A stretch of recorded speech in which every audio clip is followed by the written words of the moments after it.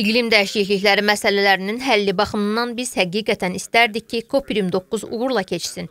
Eyni zamanda bu bizim fikirlərimizi söyləmək üçün fürsət olacaq. Bu barədə prezident İlham Əliyev aprelin 23-də Ada Universitetində keçirilən COP29 və Azərbaycan üçün yaşıl baxış mövzusunda beynəlxalq forumda beynəlxalq ekspert, Amerika Birləşmiş Ştatlarının Azərbaycanda sabiq səfiri Matthew Bryzanın sualına cavabında bildirib.